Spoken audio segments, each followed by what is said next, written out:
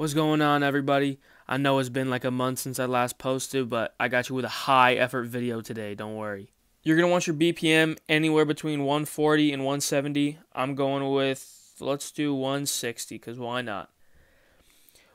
What makes a Snail's House song a Snail's House song, aside from his signature sounds, would be the chord progression. So here we got a very basic Snail's House chord progression.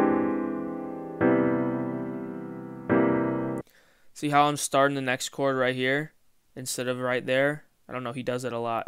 He puts it like kind of a bit a bit late or sometimes he does it a bit early like this.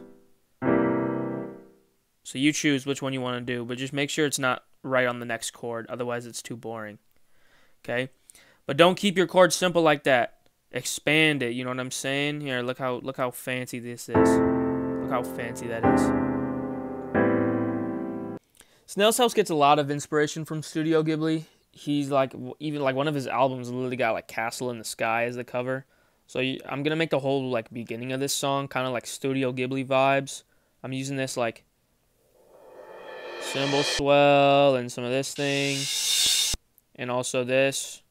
I like I made the gong sound effect and then put it, but then reversed it beforehand, so you get like a nice transition add a floaty piano, something like this.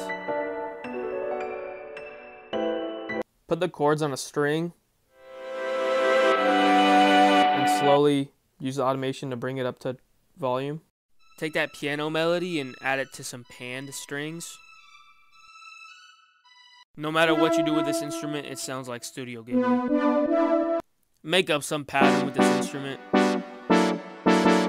pan some arpeggios. You gotta have one pan right and one pan left.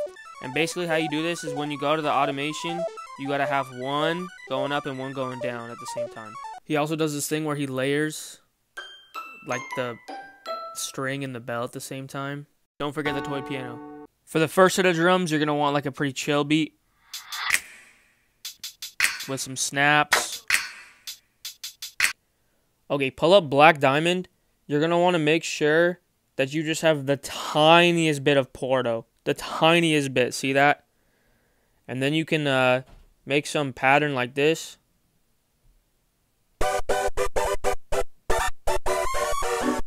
He does this pattern a lot.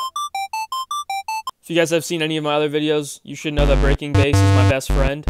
You can literally do anything with it. You want to have the glide, and you got to do that so that you get the vibrato, and then you can do these man, it's crazy. I used it for my bass, my normal bass. I also used it for my sub bass for the drop. And I also use it for the lead too.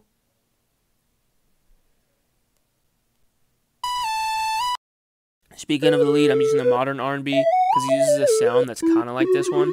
And you're going to want to do this thing right here. The ding, see what I'm talking about? That thing. You got to do that. Then you're going to add this lead again, but on a different instrument and slowly raise the automation. Second beat, you're going to want to have kicks and the snare and this height thing. And never forget the uh, maracas. So you're going to want to bring like a snare to the sampler. I'm using the deep sleep snare. See that? Boom. Then what you're going to do is you're going to do this little... You know what I mean?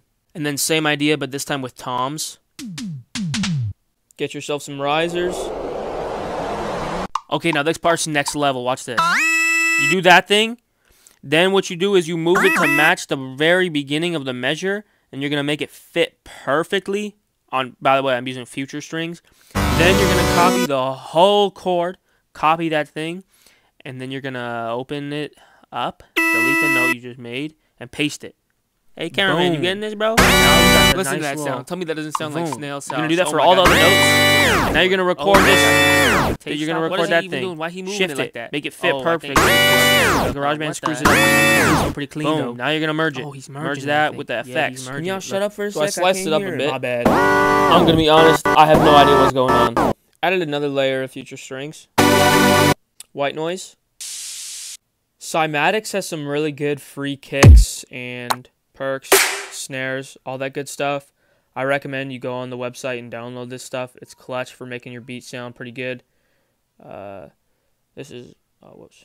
This is what I have for my beat, my drop.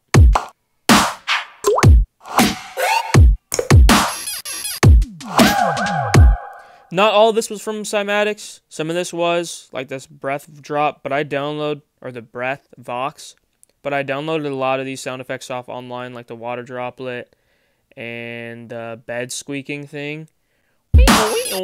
Yeah. Oh yeah, you want this thing. And some other arpeggios. Alright, you're gonna want two kinds of boomers. The classic white noise. And then like a low very deep low boomer. Hi-hats. I mean, these really shouldn't be too complex. You're going to want this one part where you sidechain the piano. Make this thing. I think he likes trains and also birds. Oh yeah, and he also does this twinkling chime thing. That wasn't too bad, right? I mean, I made the video really easy for you guys to follow along, so just thank me in the comments. You should have something that sounds like this.